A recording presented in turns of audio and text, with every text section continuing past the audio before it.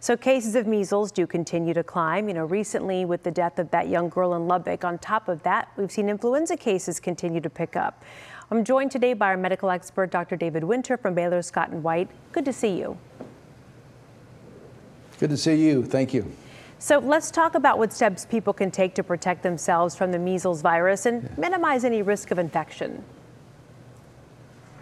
Yeah, it's sad to hear about that unvaccinated girl in Lubbock who passed away. There's a lot of measles out there right now, 124 cases. That's double what it was two weeks ago. So it's continuing to rise. I worry about that quite a bit. Now, the vaccine is highly effective. If you've been vaccinated, you're not likely to get anything with this. If anything, you might get a mild case of measles, but most folks are totally protected with lifetime immunity. So the vaccines work very well. And there's a lot of that stuff going on right now, so we need to pay attention who's vaccinated and who's not. Why is it so contagious? It's said to be the most contagious virus on the planet. It's because when the, it's in the air, if you have measles and walk through a room, that air can still be contaminated for another two hours. If you touch a doorknob and you have measles or touch a table, they can stay alive there for another two hours. Highly contagious. So that's the problem with it. Uh, once it's out there, it can spread. And it's actually said that if somebody with measles walks to a crowded room, 90% of the people in that room who are unvaccinated will get the measles. Highly contagious. Now, how does vitamin A potentially help with the measles? Yeah, vitamin A an, has some anti-inflammatory properties, and so there's some ideas that may help somewhat. Uh, you don't get, want to take too much, milligram at the most, but uh, vitamin A might have some benefit. Of course, the best is to be vaccinated and stay away from the sick folks. Now, where are we at as far as flu numbers? I feel like I think I know at least a handful of people who were ill in the month of February.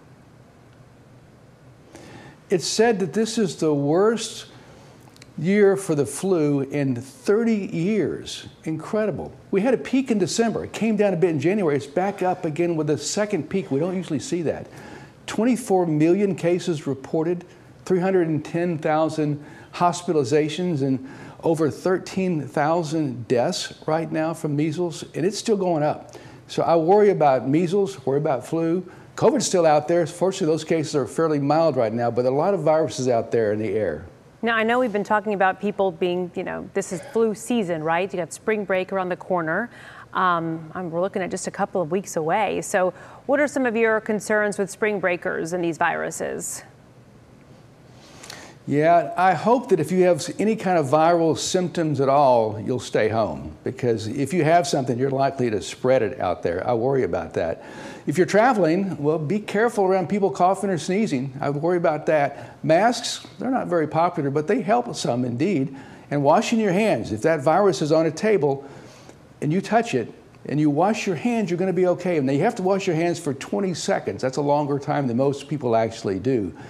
And actually, if you haven't had a flu shot, and if you're not vaccinated for measles, it's not too late. Those viruses can respond to those vaccinations. And it just takes a week or so for the vaccine to work. So consider that if you're going out for spring break. If you're not going out, consider it anyway because vaccines work and those diseases can be deadly. Thank you for your insight, Dr. Winter. Good to see you again. Now, we know a lot of you have questions about the measles, so we took those questions to an expert, and you can watch what she had to say on our TV streaming app, WFAA Plus, right now.